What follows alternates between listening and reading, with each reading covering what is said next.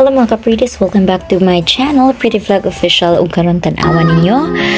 Yes, dami kayo magluto tag simple lang nga recipe today.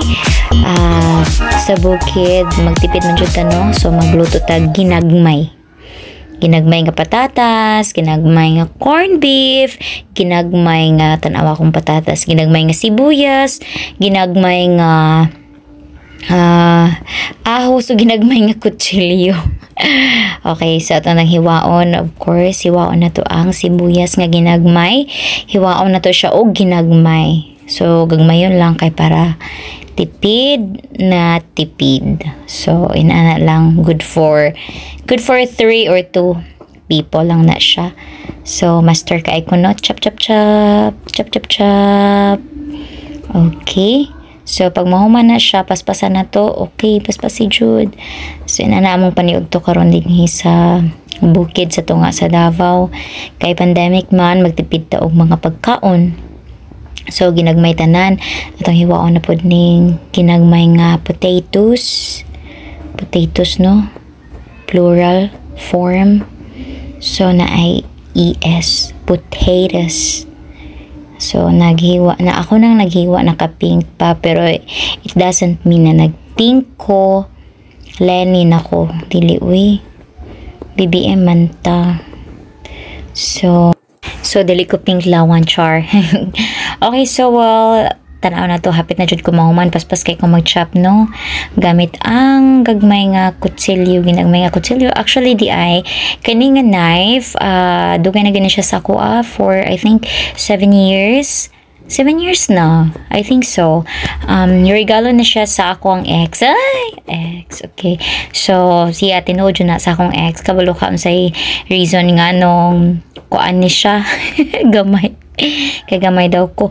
Okay, well, gipalit niya dito. Ito nga siya Alaska. Inya mo ni yung nana na anuhan.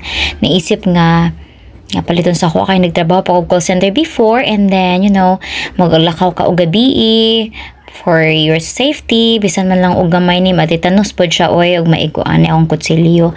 So wala mo koy laing knife pa origin siya. Pero karon still here. Uh, ako lang gikip kay sayang man po ni siya ilabay no?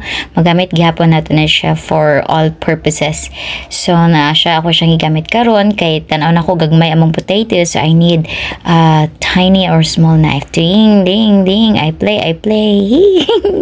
Okay so well mag-start na tayo luto chunk chunk chunk yay So, karon gisa na to ang sibuyas ug ang ahos. Unahon ang ahos and then follow na to ang sibuyas na gamay pod. So, pila ra gid kaon ni pang paano na na siya sa bahaw. So, pag ni golden brown na siya, mm, very easy. Kabalo naman jud mo ani no. Ato ilunod ang patatas kay wala pa muli siya naluto mas gahi mga ang patatas no. So, let's see ilunod na si Mr. Potato. Okay, naara. Naka-chop na siya ha. Okay, so okay yun, okay okay yun. Ato na siya ang palutuon. Okay, pag tanaw na to naluto na. So, very simple lang, no? Tuwing gamiton gyud po nato itong tiny knife pag open wala man gud may can opener kay naguba na but actually wala gud may can opener kay pobre mi wala na sa mua. Gamit lang may kutsilyo mga pre. So magic juve. Okay use your tiny knife to open this holiday corn beef So, ganamig corn beef holiday kay mas naman siya sa Argentina. So, yan ang opinion ko. So, yan. Whoops. Done. And put it in the pan. Very simple and easy. Take it easy.